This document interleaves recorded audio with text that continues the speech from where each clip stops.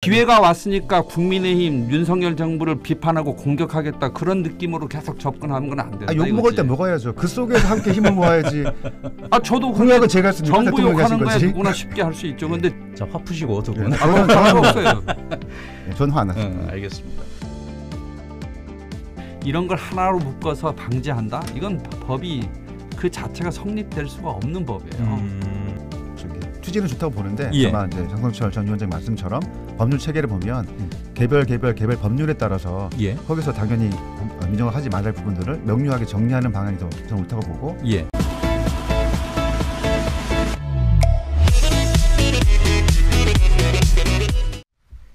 예, 라디오 제주시대 시사 전망대 함께하고 계십니다. 자, 오늘은 장선 장성철 전 국민의힘 제주도당 위원장과 강호진 센터장 두 분 이야기를 나눠보고 있는데 관광청 관련 얘기가 짧게 안 끝났습니다. 그래서 좀더 얘기를 해야 될 것 같은데 자 일단 어, 좀 궁금한 것이요. 그러면은 제가 갑자기 좀 생각이 났는데 장 위원장님께서는 그 관광청이 제주도로 오는 것 자체에 대해서는 어떻게 좀 보십니까? 당연히 와야죠. 만들어지면. 외청으로서 예. 아, 마이크 좀만 가까이 예, 해주시겠습니까? 당연히 와야죠. 예, 그래서 예. 이게 어떤 개념이냐면 예, 대통령의 공약일지라도 예, 그게 당연히 제주에 올 거다. 예. 이렇게 생각해서 접근하는 것보다는 예, 안될 수도 있다. 어, 여당, 예, 야당, 시민단체 모두가 동의하면 음.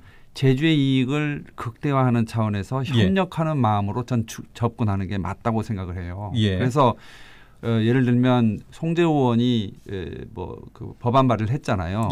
예, 그런 것도 조금 도정과 예를 들면 오영훈 도지사하고 송재호 의원하고 예, 또 제주도 내 국민의힘 제주도당하고 예, 예, 이렇게 좀 여야 초당적인 어떤 협력 과정을 거쳐서 법안 발의가 되면 예, 예. 그게 탄력을 받을 수가 있는 거잖아요. 음, 이 일방적인 법안 발의를 위한 법안 발의처럼 돼버릴 수 있지 않습니까? 이- 특히 정부조직법 개편안 같은 경우는 정부의 동의가 없을 없는 경우에는 예, 그건 입법 발의하는 걸로 끝나는 거예요. 음. 정부에서 거부권 해버리면 아무 의미 없는, 없는 거 아니겠습니까? 자, 제주도에서 한 마음으로 나서서 당연히 그렇게 노력을. 해야 된다. 예, 그래서 이번에 도의에서 결의안 통과시키고 그런 예, 측면은 건의안. 굉장히 아, 좀 예. 긍정적으로 그 생각한다 말씀은 이거죠. 이제 동의하는데 예, 팩트로 말씀드리면 예. 최소한 이제 국민의힘하고 열심히 못한 거는 맞는데 예, 제주도와 예, 문체부하고 송재 의원이 몇 차례 간담회 또 지역에는 이제 관광 학회학과 협력을 해가지고 음, 그냥 멋대로 법안을 낸 건 아닙니다. 예, 예, 그리고 이제 구체적으로 말씀드리면 이제 대통령의 공약이 저희는 관광청 설치 제주 배치로 알고 있는데 예. 이게 맞다고 하면 예, 이런 부분 관련해서도 지난 9월 8일 날 예,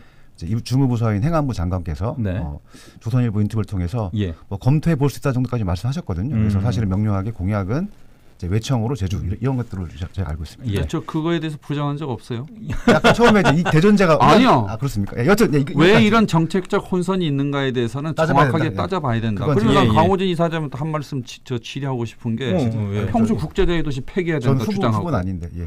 그렇게 해놓고 관광청 찬성하는 거예요? 관광도 다양한 관광이 있지 않습니까? 지속 가능한 관광도 있고 그럼 예. 생태 관광만 하려고? 아니 지속 가능한 관광이 모두 생태 관광이 아닙니다. 예. 거기까지는. 아니, 농사도 하시는 분이 거기 아니 어떻게 관광청을 갑자기 난 아, 저 그, 저랑 싸워서 뭐. 하시겠습니까? 아니, 그러니까 저 그러기 때문에 혹시 어, 음. 그 얘기 하실까봐 이제 예. 관광청이 오긴 와야 되느냐라고 아까 처음에 여쭤본 것이고 어, 그러니까 가, 장 이상적인 거는 예. 관광공사의 기능을 흡수한 예, 그래서 상당한 기능이 보장이 된 예. 그런 외청이 설립이 관광청으로 돼야 되고 그게 제주 저 대한민국 관광 산업의 수도라고 할 수 있는 제주로 오는 게 합당하다. 관광공사라고 하면은 중앙부처에 있는 관광공사 얘기하시는 그렇죠. 거죠? 그게 본사가 예, 지금 예. 원주에 있어요. 예, 예, 예. 그 문제가 지금 상당히 그 딜레마에 빠질 수 있는 소재가 되고 예, 있다. 그 저는 부분 보- 동의합니다. 보고 예, 있습니다. 알겠습니다.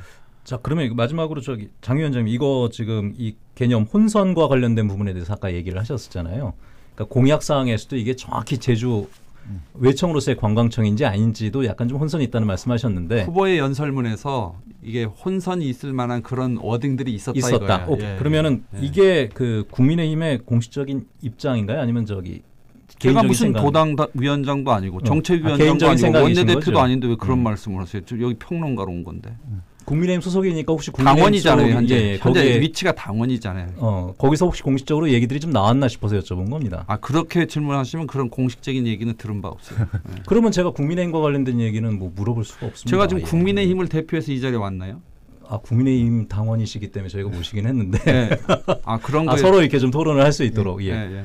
오, 오늘 왜 이렇게 날카로우시지? 아니 그 정말 그러셨는데? 예를 들면 어. 그 정치적인 고- 공격의 대상으로만 보시지 말고 제가요? 아, 저, 두, 두, 둘 다. 아까 예를 들면 국민의힘 도당하고 협의를 안 한 것이 너무나 당연하다는 얘기였는데 송재 저 의원이 그런 말한 당연히. 국민의힘 제주도당 당직자들 도당위원장 허영준 위원장도 모시고 그렇게 해서 예. 법안 발의에 대해서 협의를 하는 게 당연한 거죠. 아, 예, 그, 그렇게 됐으면 그것이 좋았- 잘못됐다고 아니, 얘기를 해줘야지. 그렇게 됐으면 좋았겠는데 네. 너무 또좀 비판하니까 당한 예. 과정에 있어서 국민의힘하고 죄송합니다. 네. 국민의힘하고 협의 못한 건 잘못이고 그럼에도 불구하고 도하고 송재 의원실이 협의했다 이렇게 예. 팩트를 말씀드린. 거예요. 도청하고 저, 저 송재 의원은 제주 도청하고만 협의하면 아까는 또 되는 안 하셨다? 했지 않습니까? 아 근데 그건 아니지. 아, 요즘- 오늘 또 이러십니까 정말. 네, 예.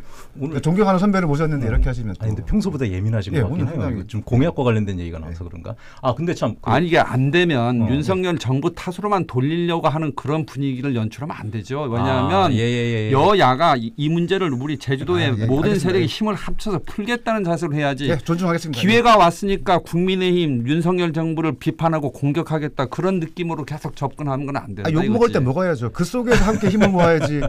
아 저도 근데 제가 했으니까 정부 욕하는 거야 거지. 누구나 쉽게 할 수 있죠. 예. 근데 제주도 이익이 되는 일을 하려면 송재 의원이 제주 도청뿐만 아니고 도당하고도 아, 협의를 그건 해야 된단 2년 말이에요. 뒤에 싸우십시오. 2년 뒤에 저한테 말씀. 근데 그런 얘기를 해주셔야지. 잠깐만요. 제가 근데 지금 어, 야 이거. 관광청 얘기 두, 한 시간 다 하겠는데. 예, 예.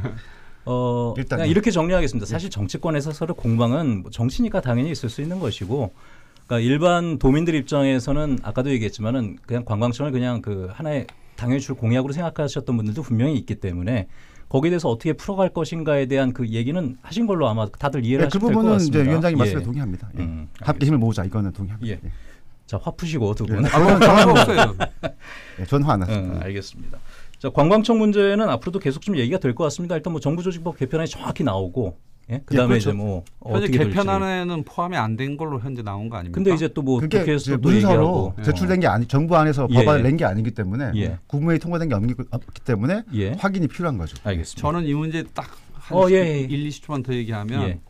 이번 회기에 이, 그 그러니까 정기 국회 때 그런 정지 정부 조직 개편안이 안 되더라도 이건 제주의 이익에 강- 상당히 부합하는 어, 좋은 정책적 의제이기 때문에 에, 제주도만이 아니라 전 국민의 어떤 공감대를 얻어가면서 예. 도민의 역량을 결집할 수 있는 그런 어떤 정책 추진 프로그램들이 좀 필요하다고 생각하고 예. 어, 예를 들면 제주 도 내에서 어, 기회에 뭐 국민의 힘을 여당을 비판하는 소재로 삼겠다 이런 식의 접근하는 건 저는 옳지 않다 생각해요. 예, 아무튼 알겠습니다. 그 정치적으로만 너무 이렇게 공격 논박은 하지 말자라는 얘기로 좀 마무리를 하도록 하고요. 예. 어, 우리 2부에서는 공공 서비스 민영화 추진과 관련된 이야기를 나눠보려고 했습니다. 근데 아 이것도 하나 좀 먼저 여쭤보고 들어가야겠다. 지금 어, 노동계 쪽에서는 민영화라고 얘기를 하잖아요. 예, 근데 그렇죠. 정부에서는 민영화라는 얘기 사실 잘 안 합니다. 민영화라는 단어가 맞다고 보세요? 아니면은 이건 사업 좀- 사안별로 민영화인 경우도 있고 예, 예. 또 정부 입장에서는 공공 공공 분야 구조 개혁의 분야도 있는 것 같습니다. 음. 그 사람 감축하는 게 또 반드시 민영화는 아니거든요. 아 이거 제가 이 질문 왜 드렸냐면 어제 그 노동계 관련된 분들과 인터뷰를 했었는데 예. 그분들께서는 단순하게 그 전체를 다 파는 것만이 민영화가 아니고 지분을 좀 넘긴다던가 아니면 이제 그 외주를 늘린다던가 이런 것들도 다 민영화의 하나로 보고 계시더라고요. 그 개념부터 여쭤봤습니다. 보통의 경우에 이제 민영화라고 하면 예. 민간에 매각하는 경우를 대부분 이제까지 좀 그렇게 인식을 하고 좁게 있죠. 해석을 하죠. 예를 들면 예. 민영화의 대표적인 정책이라는 게 대처정부 때 철도까지 아 영국. 예, 예, 예, 민간에 매각하는 그걸 예, 민영화의 예. 대표적인 사례로 보잖아요. 근데 민영화라고 하는 건 정책적인 스펙트럼에서 보면 소유가 있고 운영이 있어요, 경영이. 그러면 소유권을 넘기는 것도 민영화고 예. 어, 민간의 경영을 위탁. 위탁하는 것도 민영화라고 민영화. 볼수 있죠. 아. 그래서 사실은 민영화라는 게 너무 넓은 의미의 개념이라 가지고 예. 어, 정확하게 어떤 현상을 담아내기에는 좀 음. 담론이 너무 큰 거죠. 그래서 예. 어, 정확하게는 뭐 민간에 매각을 한다든지 예. 혹은 또 민간에 위탁을 한다든지 혹은 민간에 매각을 한다든지 정확한 그 사안에 대한 용어를 쓰는 게 음. 에, 이, 이 커뮤니케이션 하는 데는 도움이 된다. 그냥 주로 생각합니다. 매각과 위탁 이- 이 경우가 범주가 민영화입니다. 예, 예. 크게 보면. 예. 자 지난 4일에 민주노총 공공운수노조가 전국적으로 동시다발 기자회견을 열었습니다. 음, 일단 공공서비스 민영화를 규탄한다. 그리고 공공서비스의 민영화를 금지시키고 이미 민영화된 것들도 재공영화하자 이런 취지의 기본법 제정 운동에 돌입을 한다고 밝혔는데 어 우리가 흔히 이제 민간에서 그런 얘기들 많이 하잖아요. 그러니까 보수 정부가 들어서게 되면은 보수성의 정부가 들어서게 되면 민영화를 많이 민영, 하려고 네. 한다. 그다음에 뭐 어, 상대적인 진보 정 예, 진보 정당. 정당으로 분류되는 분들이 하면은 그거를 안 하려고 한다라고 얘기를 하는데 그 인식 자체는 좀 어떻게 보십니까? 아, 센터장님부터. 어쨌든 이제 보수 저- 정권들은 예. 상대적으로 작은 정부, 효율적 정부를 내, 어, 내세우기 때문에 예. 정책적 방향이 대부분 이제 민영화 쪽으로 많이 가는 것 같고 음. 뭐 진보 정 소위 진보적인 정당 쪽 정부 입장에서는 예. 오히려 공공성을 강화하는 취지에서 하긴 하는데 사실은 득실은 명료하게 따져볼 필요는 같습니다. 예. 득실은. 예. 음. 뭐 저도 그 말에 동의하는 게 예. 사안별로 정확하게 봐야 된다. 예를 들면 모든 공공 서비스의 민영화 저 민간 위탁이 다 잘못된 것이다. 어떤 경우에는 민간 그 공공 서비스는 정부 예. 어, 정부가 직접 해서 정부가 직접 운영하는 게 맞다. 음. 어, 그것이 또 옳을 수도 있고 틀릴 수도 있거든요. 예, 그래서 예. 사안별로 전 정확히 보는 게 중요하다고 생각합니다. 음.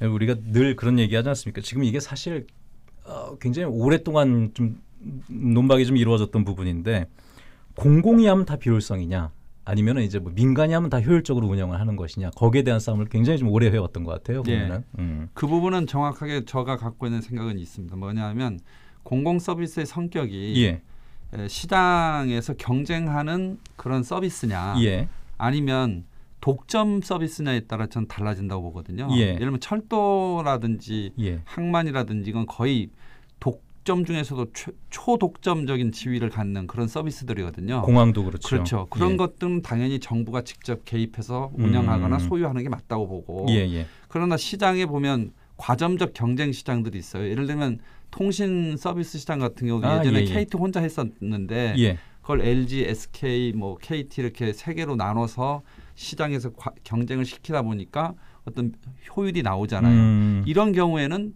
당연히 민영화를 할 수 있는 그런 예. 근거가 된다 이렇게 보는 거죠. 아 추억의 이름 생각나네요. 한국이동통신. 어, 삐삐 일단 예. 01 012, 015뭐 네, 이런 012. 서비스들 많았었죠.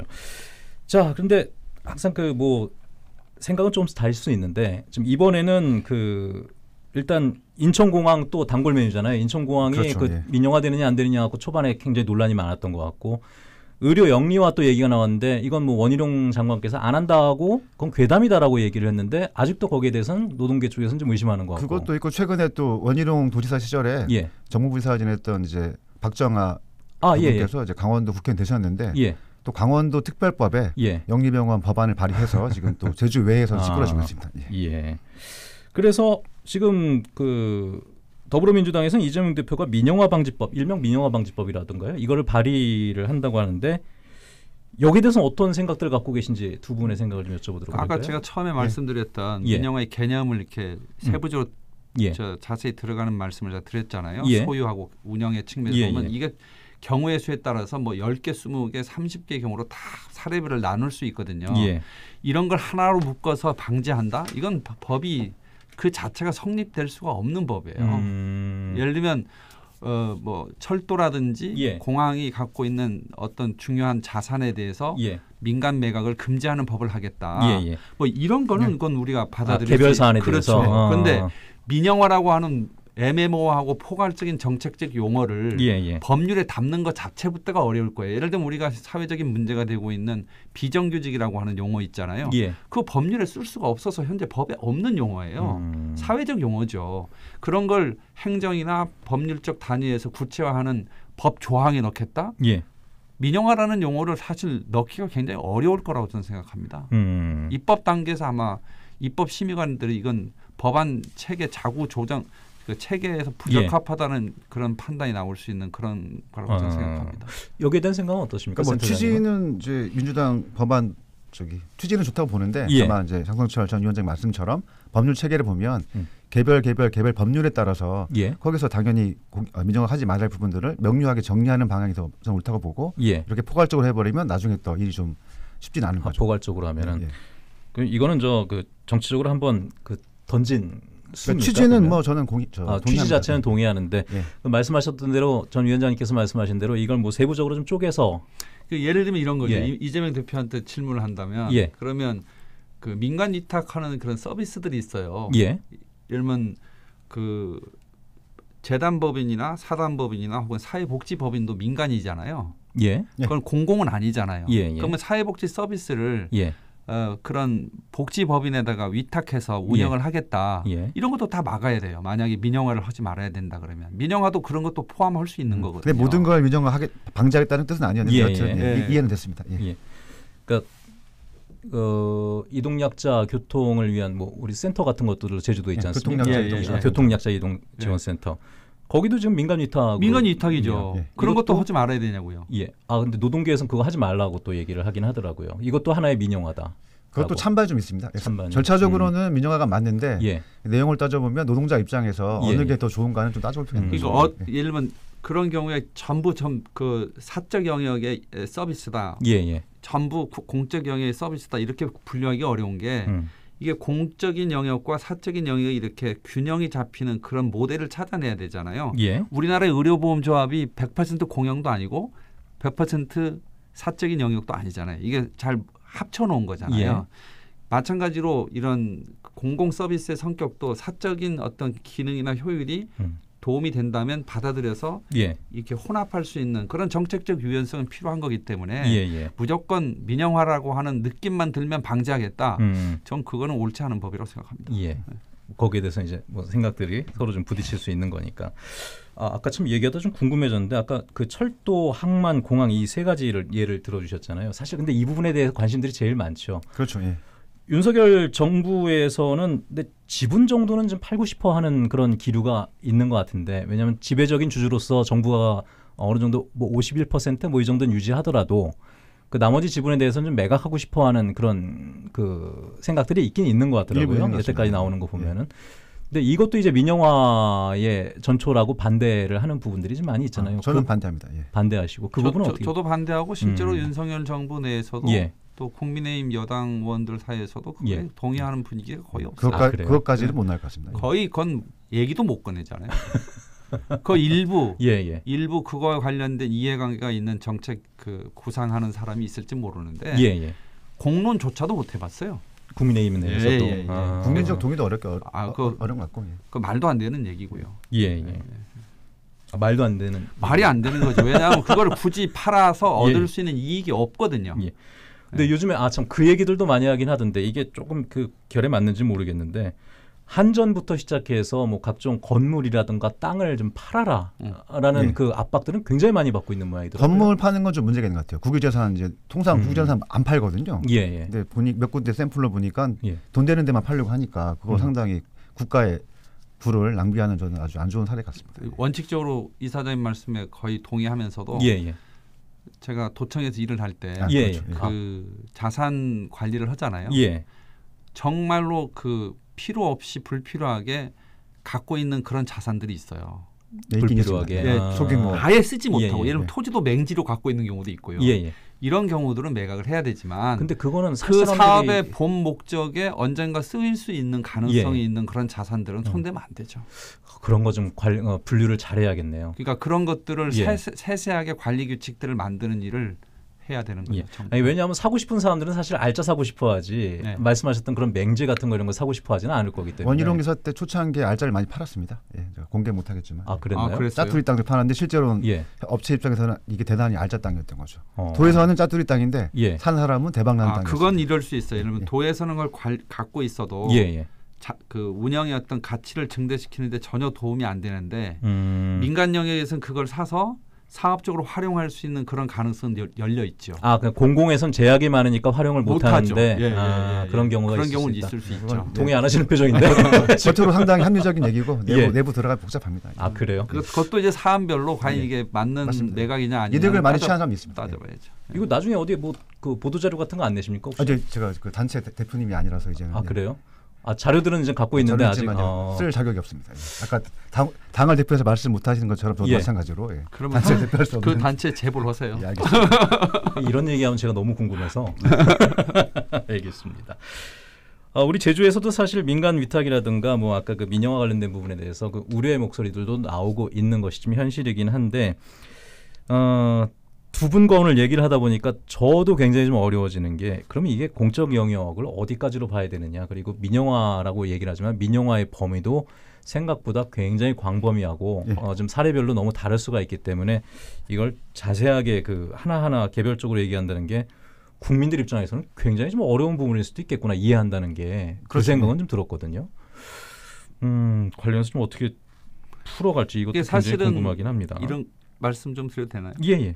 이게 정책적 유연성이 되게 필요해요. 이런 것들 유연성. 예. 음. 그러니까 경직되게 찬성이다 반대다 혹은 된다 안 된다 이 개념이 아니라 예. 어느 수준으로 어떤 방법으로 어떤 절차를 거쳐서 결정을 할 거냐 음, 그런 정책적인 그 아주 세부적인 기술이랄까요 예. 테크닉이랄까요 그런 것들이 굉장히 많이 필요하죠 예를 들면 교통약자 이동 지원 센터 같은 경우에는 그것도 민영화다 예, 예. 이렇게 주장할 수 있지만 그건 거- 거대 담론으로 너무 크고 그러면 그분들을 전부 공무원으로 채용하는 게 과연 옳은 거냐 음, 음, 음. 그럼 그랬을 때 생기는 재정적 경직성은 예. 도민들이 부담을 해야 되는데 과연 그게 합리적 재정 운용이냐 이런 논의들을 해야 되는 거죠. 예, 알겠습니다. 시간 짧으네요. 시간이 다 됐습니다. 아, 벌써. 그렇습니까? 예. 관광청 얘기하다 보니까 예. 아, 이 관광청에서 의외로 좀 그 생각이 다른 부분들이 많이 있어서 시간이 좀 지났고 장 위원장님은 저희가 나중에 한번 다시 모셔야겠습니다. 하고 싶은 얘기 되게 많으시죠? 아니면 뭐 불러주시면. 알겠습니다. 아유 시간 다 됐네요. 저희 나중에 뵙도록 하죠. 네. 시사전망대 함께하셨습니다. 두 분 고맙습니다. 예, 감사합니다. 감사합니다.